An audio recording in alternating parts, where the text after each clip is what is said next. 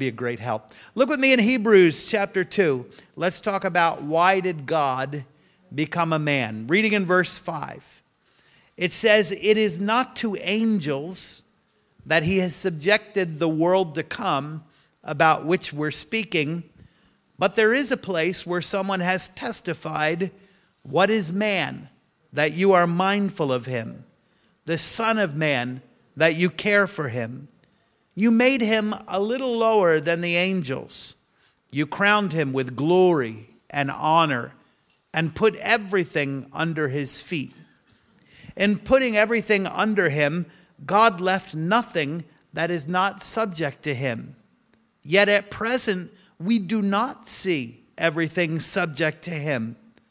But we see Jesus, who was made a little lower than the angels now crowned with glory and honor because he suffered death, so that by the grace of God he might taste death for everyone. In bringing many sons and daughters to glory, it was fitting that God, for whom and through whom everything exists, should make the pioneer of their salvation perfect through what he suffered. Both the one who makes people holy and those who are made holy are of one family. So Jesus is not ashamed to call them brothers. Jumping down to verse 14, since the children have flesh and blood, he too shared in their humanity, so that by his death he might destroy the power of him who holds the power of death, that is, the devil, and free those who all their lives were held in slavery by the fear of death. For surely it is not angels he helps, but Abraham's descendants. For this reason, he had to be like, made like them in every way, in order that he might become a merciful and faithful high priest in service to God, and that he might make atonement for the sins of the people. Because he himself suffered when he was tempted, he is able to help us when we are being tempted. Let's pray. Let's invite the Holy Spirit to help us this morning. Now, uh, two things I have to share with you. I'm, I feel great today. I'm just getting over a little cold uh, that one of my children brought in the house, so I feel just fine. But uh, if I get a little croaky at some point, just keep keep amening in spite of the croaking, all right? That's number one. Number two, we're running late today, and it is everybody else's fault but the preacher, okay? So I just want you to know that. We might go a little long today, but you just trust Jesus. We're going to be okay, all right? We're going to make it through, and I have a good word to share with you. Come on, let's pray together. Father, thank you for this morning. Thank you for the people you love so much. Thank you for your presence with us and your powerful word. Father, I pray we would encounter you through the ministry of your word. If your heart agrees with that, would you say amen and amen? If God is who we say he is, why is there so much suffering in the world? If God is loving and merciful, if God is infinitely just, if God is all knowing and all powerful and everywhere present, why is the world the way that it is? Why does God allow natural disasters to wipe out tens of thousands and even hundreds of thousands of people at a time? Started receiving distress messages two days ago from many friends that we have in Chennai, India. There's terrible flooding going on there. People have been wiped out and people are in tremendous need. And I started getting messages from students that we've taught over the years over in Asia asking for our help. Why does God allow epidemics of disease? Why does He allow birth defects? Why does He allow parents to suffer? The death of their children and children to suffer the death of their parents? Why does God allow brutal dictators to rise to power? Why does He allow war and refugee crises? Why does He allow slavery and human trafficking? Why does God allow crime? If God is who we say He is, why doesn't He do something? Why doesn't he act? Why doesn't he intervene? That question is behind the despicably anti Christian headline that appeared in the New York Daily News on Thursday morning after the San Bernardino massacre that called prayer a meaningless platitude.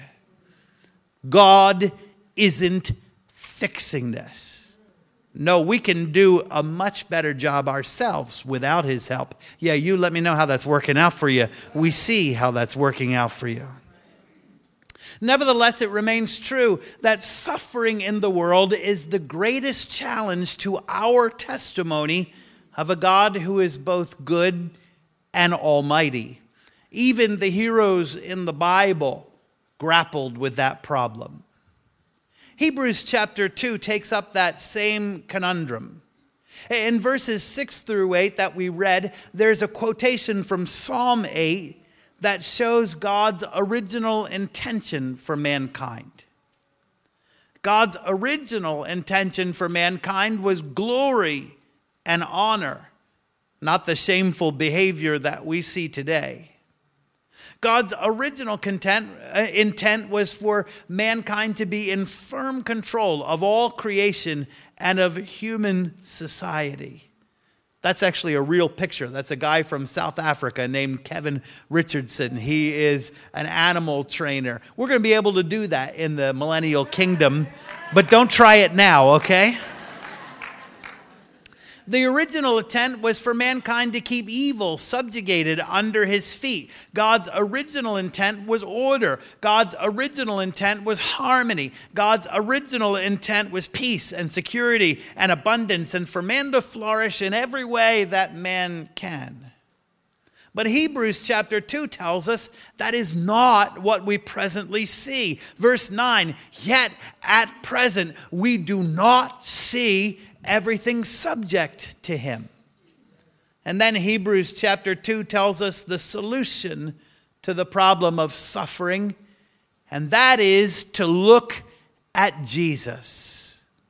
At present, we do not see everything subject to him, but we see Jesus, who was made a little lower than the angels. Beloved, the solution to the conundrum of suffering is found in the incarnation of Jesus Christ. The solution is to look at his humanity. To the one who asks, why doesn't God do something about suffering? Hebrews chapter 2 answers roundly, He already has. He has already done the most loving and the most effective thing that he could ever do. In the 11th century, St. Anselm of Canterbury asked the question why did God become a man? That's a question so big that it's answered several different ways in the words of Jesus and in the New Testament. For the next few weekends during this Christmas season, I want us to explore this question together. Why did God become a man? And my prayer is that your heart will overflow with awe and with adoration and with gratitude and with faith as we look at the most fundamental truth of our Christian faith, the doctrine of the incarnation. Why did God become a man? Starting out in Hebrews chapter 2, God became a man to cry with us. How on earth does the incarnation speak to this conundrum of suffering? How does it vindicate God's character? Looking at Hebrews chapter 2, I find three things that I want to share with you quickly. And if you're visiting today, quickly is relative, all right? I just want to warn you about that. But it's not my fault that we're running over time today. It is my fault, but you love me anyway, right? How does the incarnation speak to the conundrum of suffering? Three truths. First of all, the incarnation means that God Himself has suffered with us. From the fourth grade through high school graduation, I had the privilege of attending a Christian school. It was a very strict Christian school, very rigid. Part of our curriculum was Bible class, and we had to memorize large quantities of scripture. In my sophomore year, we memorized the whole epistle of James in the old King James English. By our senior year, we were asked to select a Bible verse that would serve as a life verse, that would sort of guide us through our journey into adulthood. The scripture reference for our life verse appeared under our photo, our senior photo in the yearbook. I was in the distinguished, distinguished class of 1985, but in the class of 1984, there was a little trouble. Several of the boys conspired together to list as their life verse John 11 35. Does anybody here know John 11 35? Do you know it, Miss Lila? John 11 35? Yeah, John 11 35 has the distinction of being the shortest verse in the entire Bible. It is two words Jesus wept. Now, it turns out that the boys in the class of 1984 didn't really care that Jesus wept. They were just making a little jab at all the years of memorizing passages of Scripture in King James English. We in the class of 1985 thought it was hysterical. The administration, not so much. And after all those boys got a three day suspension, they wept. But in spite of its brevity, I want to tell you that John 11:35 is a profoundly important verse. God, infinite and eternal, God, the creator of heaven and earth, God who is an all consuming fire, God who lives in unapproachable light. Even the angels that surround his throne and shout, Holy, holy, holy, have to cover their eyes because they're not permitted to look on him. This God wept human tears. That is a staggering truth. The doctrine of the incarnation is the truth that at a precise moment in history, God became one of us. God became a man, the man, Jesus Christ. Hebrews chapter 1 is about the absolute deity of Jesus Christ.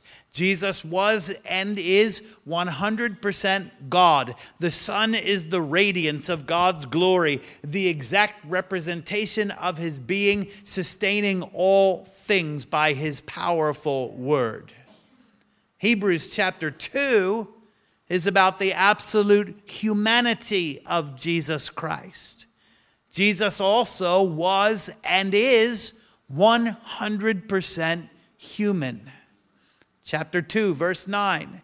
Jesus was made a little lower than the angels. Chapter 2, verse 11. Both the one who makes men holy and those who are made holy are of one stock, of one race, of one family chapter 2 and verse 14 since the children have flesh and blood he too shared their humanity. Chapter 2 verse 17 for this reason he had to be made like his brothers in every way. You know it's that last line that we have the hardest time wrapping our minds around.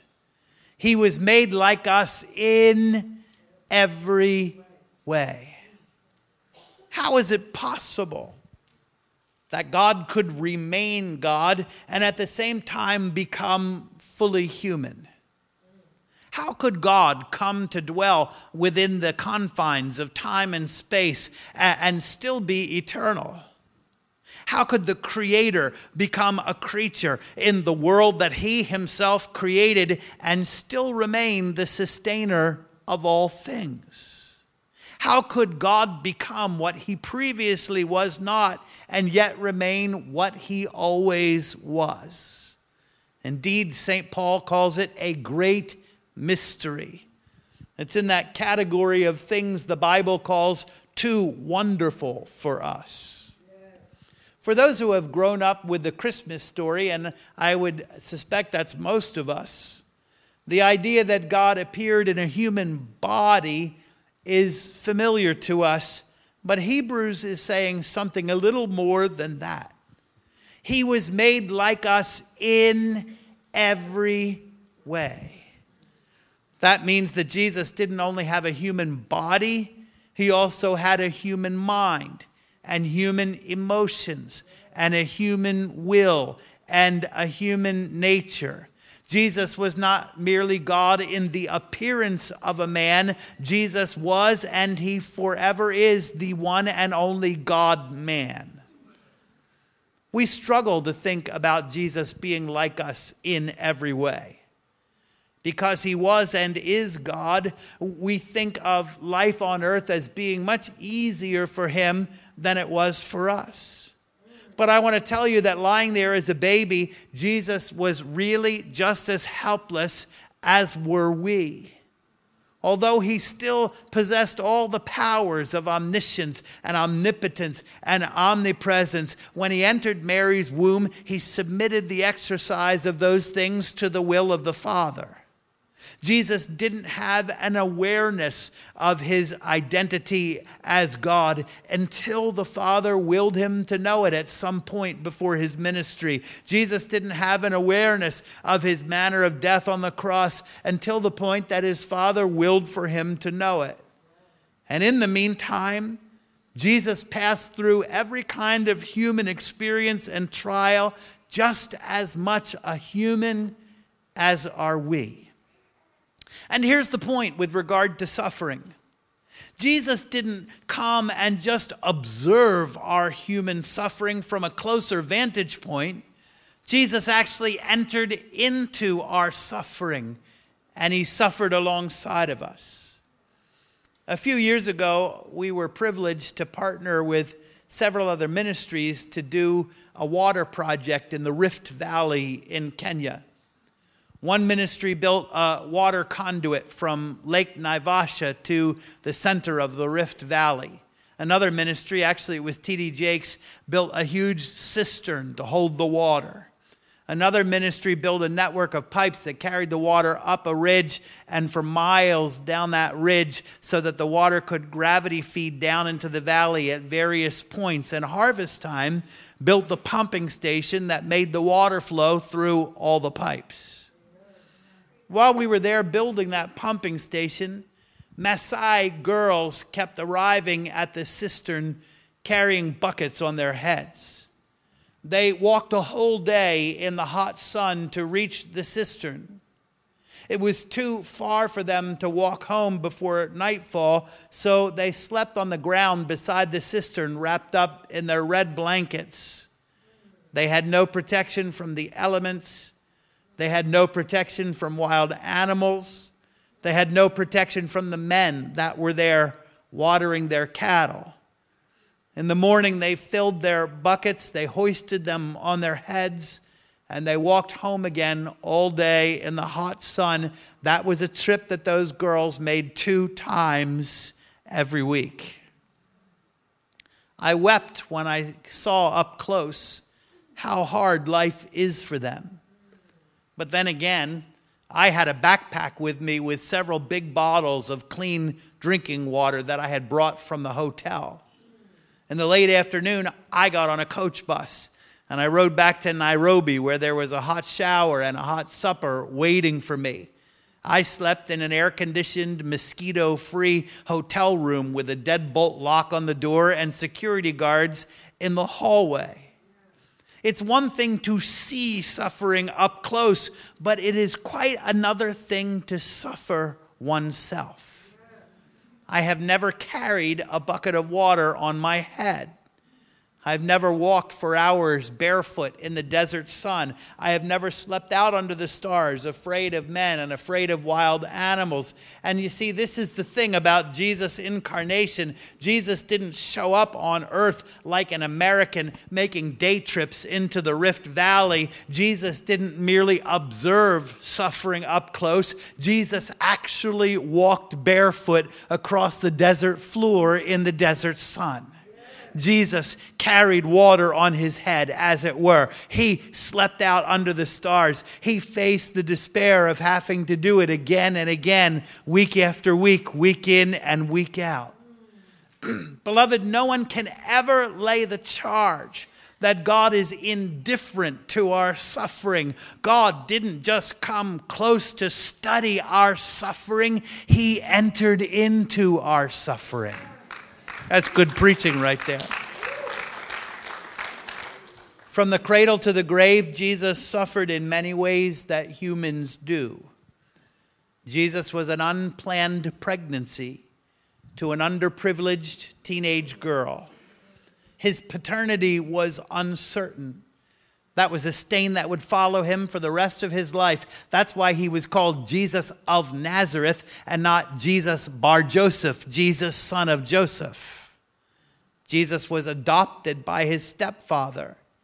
He didn't have a relationship with an earthly biological father. Jesus was born into poverty in deplorable conditions. Jesus was born under the oppressive regime of a brutal dictator. He was deemed a political enemy as a baby, and he was the target of an assassination attempt through genocide. That would be the first of many attempts on his life. Beloved, listen to me. Jesus was a refugee child. I'll tell you what, when the Holy Spirit reminded me of that one, I had a little repenting to do. Jesus was a refugee child. Jesus was raised in a backwater town with few opportunities. He received a modest education. He was a manual laborer. He lost his adoptive father early in life, and as a young adult was left with the responsibility of caring for his widowed mother. He was ridiculed by his half siblings. He was an embarrassment even to his mom. His family tried to kidnap him at one point for an intervention. He was rejected by the people of his own hometown. He was the object of harsh criticism. He was called an instigator, a blasphemer. He was called insane. He was called demon possessed. He received death threats and he evaded new, numerous attempted assaults. Jesus was homeless at times. He was hungry at times. He was thirsty at times. He was weary at times. He was overwhelmed by the demands of work at times. He was dependent on the hospitality and the generosity of strangers. He had tax bills for which he did not have the money to pay, but somehow he always paid on time. Jesus experienced the death of family members and close friends, and he experienced real grief and he cried real human tears. Jesus wept. He was single, he never married. He was betrayed by a close friend and abandoned by the rest of his friends at his greatest hour of need. He was handed over to the cruel Romans by his own countrymen. He was falsely accused. He was improperly tried. He was falsely testified against. He was beaten. He was imprisoned. And then Jesus was crucified. A form of execution devised by the Babylonians to inflict maximum human suffering. Jesus suffered in many ways that humans do, but because he was Messiah, he also suffered in some unique ways too.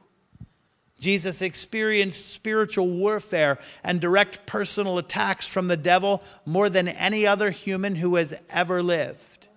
After the temptation in the wilderness, Luke says that Satan withdrew from Jesus until the next opportunity because Jesus never succumbed to temptation, because he never sinned, he suffered from an ever increasing intensity of temptation. The more Jesus refused to yield, the greater the weight upon him. But what does it mean that God suffered with us? How does it speak to the problem of suffering? How does one more suffering human being on earth, a God man no less, how does that help us? Doesn't that just add to the tally of suffering in the world? Well, Hebrews says that Jesus' suffering was absolutely necessary to prepare him for his role as our great high priest. Chapter 2 and verse 10 In bringing many sons to glory, it was fitting that God, for whom everything exists, should make the pioneer of their salvation perfect through suffering. Chapter 2, verse 17. For this reason, he had to be made like his brothers in every way, in order that he might become a merciful and trustworthy high priest. Because he himself suffered, he is able to help those who are suffering. Beloved, listen to me. The suffering of Jesus did not merely add to the tally of misery in the world, the suffering of Jesus makes all the difference in the world. Jesus' suffering made him the perfect candidate to be our high priest. When verse 10 says that Jesus was made perfect through suffering, it doesn't mean that he was in some way imperfect. Suffering did not remove something impure from Jesus. Suffering did not add something good to Jesus that he was lacking. That word, listen, Bible students, that word, he was made perfect through suffering. It's the same word in the Old Testament for the process by which priests were consecrated and by which they were approved for service. Jesus, the already perfect God man, became the perfect approved candidate to be our high priest through his suffering with us. Down in verse 17, we're told specifically what qualities suffering has etched on his heart the qualities of mercy and of trustworthiness. You see, because Jesus suffered, I can thankfully anticipate finding mercy from him when I am suffering and I am being tested.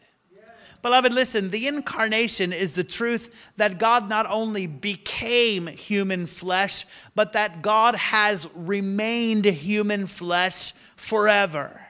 After Jesus was ascended, after he was raised from the dead, after he ascended to heaven, Jesus did not go back to what he was before the incarnation. Jesus ever lives in a body of glorified human flesh. He still bears in his body the wounds of Calvary on his hands and on his feet and in his side. In heaven, Jesus has a heart of glorified human flesh. And when my heart is in pain, his heart feels it.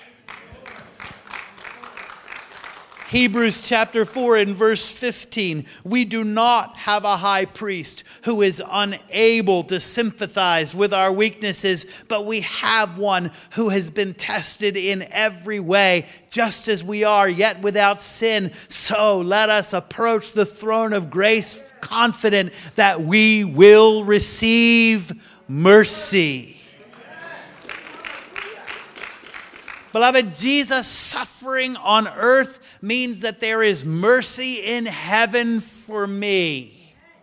When I feel like I can't take it anymore, when I feel like I'm not going to make it, when I feel like I want to throw in the towel, there is mercy in heaven for me when suffering tempts me to doubt His goodness, when I ask God, Where are you? There is mercy in heaven for me. When I'm wallowing in self pity, when I'm questioning God, there is mercy in heaven for me.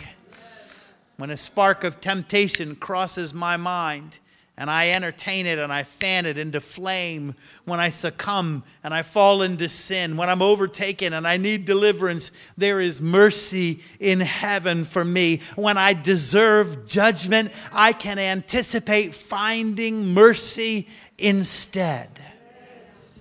Along with mercy, verse 17 says, that suffering has made Jesus a completely trustworthy high priest. Your Bible might say a faithful high priest. The word is reliable, trustworthy.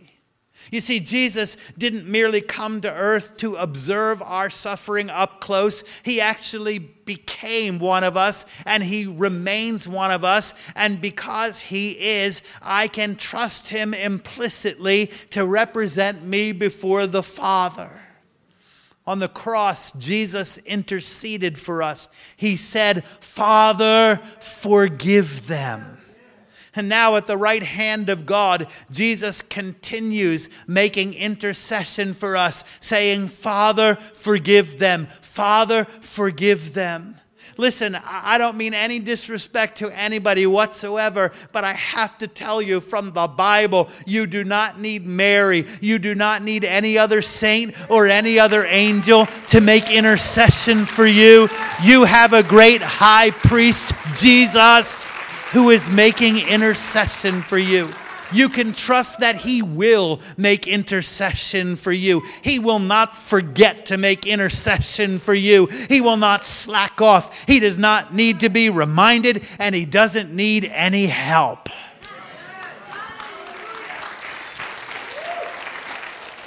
You can trust that his disposition towards you will not change. He is not going to change his mind and say, uh, you know what, Father, don't forgive them after all. You can trust that his prayers on your behalf are powerful and beneficial. Beloved, listen to me and hear me well. Prayer is never, ever a meaningless platitude, and specifically not when it comes from our great high priest, Jesus. In his mercy and trustworthiness, verse 18 says that Jesus not only intercedes for us in heaven, but he offers us real help on earth. Because he himself suffered when he was tested, he's able to help us when we are being tested. Anybody been tested this year? Chapter 4, verse 16 tells us explicitly that his mercy gives us grace to help us in our time of need. That grace means divine strength for me. It means divine encouragement. It means divine empowerment. It means divine equipping. His grace enables us to do what we cannot do in our own strength. How does the incarnation speak to the conundrum of suffering? Three truths. First, God Himself suffered with us. And second, the incarnation means that God Himself has suffered for us. He suffered in our place. Beloved, no one can ever rightly say that God is indifferent to suffering. Jesus Christ suffered more than any human being who has ever lived. In a way that I can't even explain to you, starting that night in the garden in Gethsemane, Jesus began to take upon himself all the suffering of all humanity of all time. You might say, okay, well, so Jesus suffered, but he still didn't go through the hell that I've been through. It's true, Jesus was never the result, never the victim of a sexual assault. It's true, Jesus was never abused by his parents.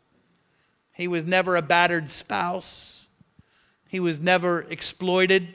Jesus didn't go through the pain of a divorce or a custody battle. Jesus never buried a spouse. He never had a long term illness or a disability. He never raised a child with a disability. Jesus died young. He didn't go through the frustration of aging. It's true. But on the cross, Jesus experienced in a very direct and personal way the pain of every one of us. Surely he has borne our griefs and carried our sorrows. He is a man of sorrow, familiar with our suffering. On the cross, I believe that Jesus experienced in a very personal way my pain on the weekend of my 16th birthday when my father abandoned our family. I believe in a very personal way, Jesus experienced my sister's pain when she found my nephew's lifeless body lying on her family room sofa three weeks ago. And he experienced your pain in a very personal way, too. No one ever can rightly say that God has failed to act to relieve human suffering. In fact, God has already done the most loving and valuable thing he could ever do. He took the worst of human suffering on himself in order to spare us from it. Hebrews chapter 2, verse 9 By the grace of God, he tasted death on behalf of everyone. Chapter 2, verse 11 By his death, he destroyed him who holds the power of death, that is the devil. Chapter 2, verse 17 He made atonement for the sins of the people. On the cross, Jesus took upon himself the punishment that we deserved. On the cross, he paid in full the penalty for sins, the frothing cup of God's wrath that should have been poured out on us was poured out on him. Beloved, can I tell you that there is no suffering on earth that can compare with the eternal suffering of those who die in their sins apart from God? The worst human suffering doesn't occur on earth. It begins precisely when life on earth is over. And this is the suffering that Jesus endured on our behalf so that we can be spared from it. For those who receive Jesus, for those who believe in him, for those who entrust themselves to him, there is no more fear of death there's no more dread of judgment, but only the anticipation of mercy and of glory. How does the incarnation speak to the conundrum of suffering? Three truths God Himself suffered with us, God has suffered for us. And finally, because of the incarnation, one day very soon, God will make an end to our suffering. Worship team, come help me if you would. Hebrews chapter 2 tells us it's true. Things on earth are not at all the way God intended them to be yet. At present, we do not see everything under Him yet. See, things are not the way they're supposed to be, but it's not going to stay that way for too much longer. In the incarnation, Jesus became the fulfillment of Psalm 8. Jesus became the first man to be crowned with glory and honor. Jesus became the first man to have evil subjected under his feet. And in so doing, Jesus pioneered a pathway to salvation for us all. In so doing, Jesus inaugurated an age to come. Can I tell you right now? Angels assist God with the administration of affairs on earth, and we are a little lower than them. But Jesus has put us on a pathway to a destination called glory. And in this dawning age, in this age that has been inaugurated by Jesus, it is not angels who rule and reign at his side, but it is us. And then God will make an end to all of our suffering. Have you read to the end of the book? Have you read to the end of Revelation? You know what it says at the very end? It says at the very end, and he shall wipe every tear from their eyes.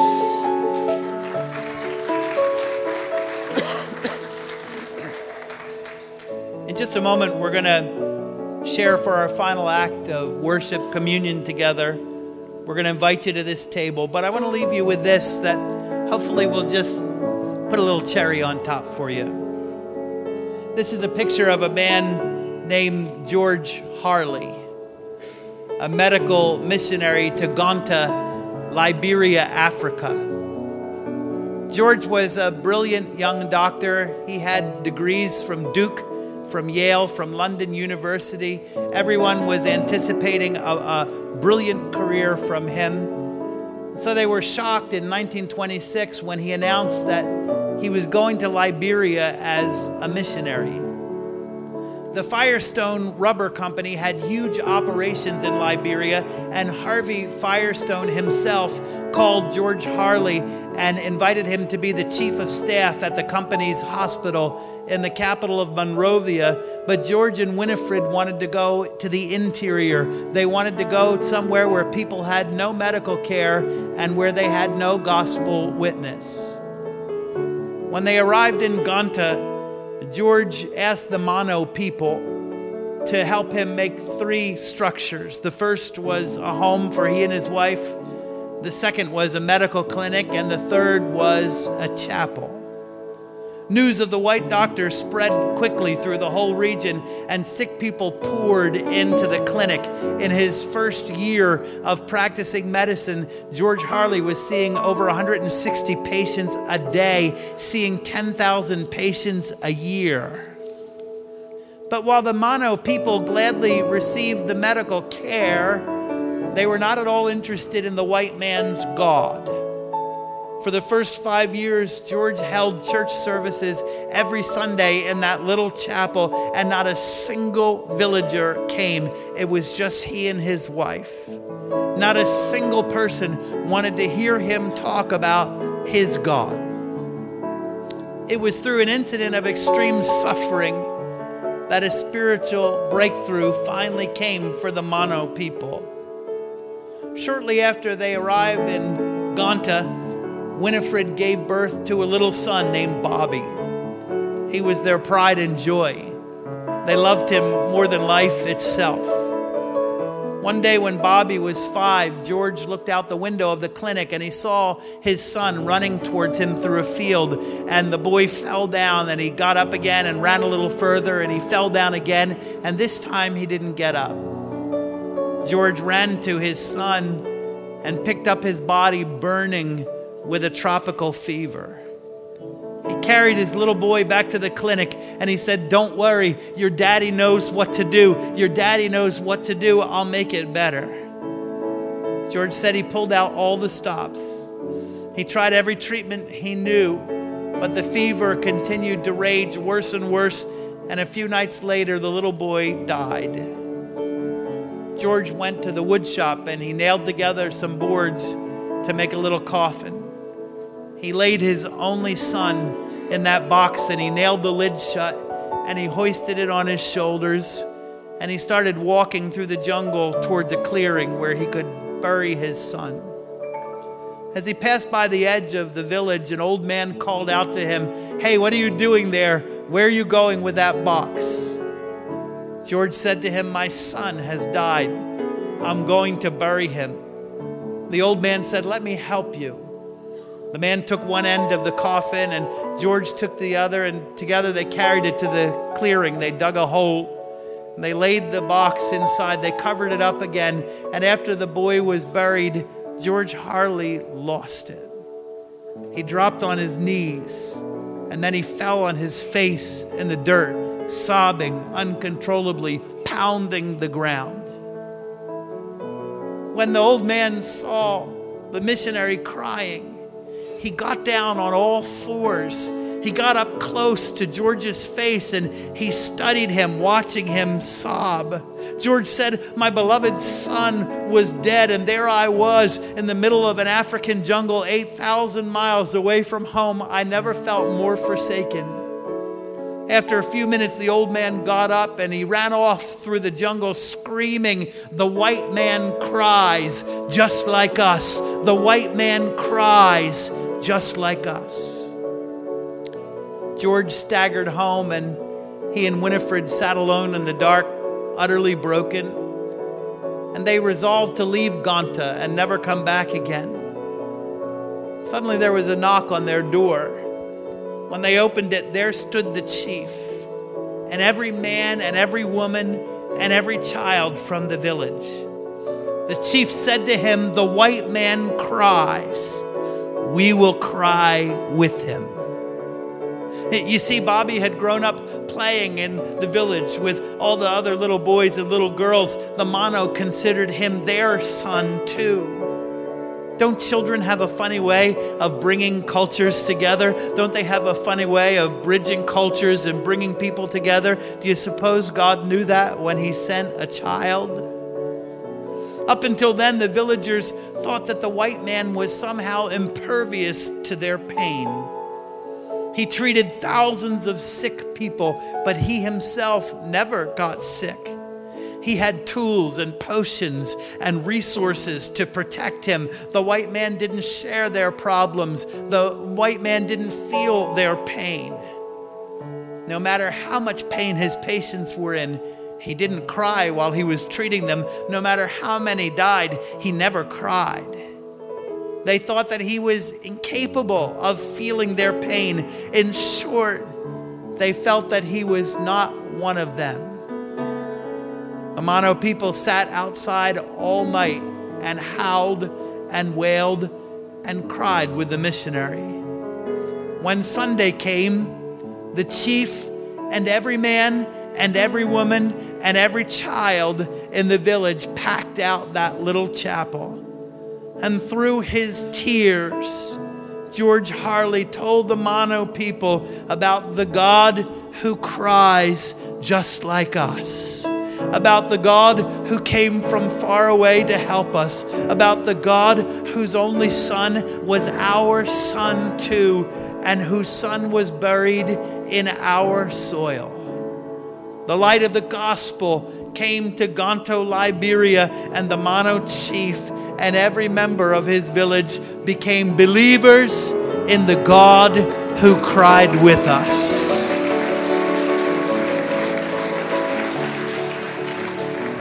At present, we do not see everything subject to him yet, but we see Jesus, who was made a little lower than the angels, now crowned with glory and honor because he suffered death, so that by the grace of God, he might taste death for everyone. Would you stand on your feet and would you give Jesus, the King of Kings and the Lord of Lords, the God who cried with us, a great big praise in this place today? Oh, come on, let's give him a good praise.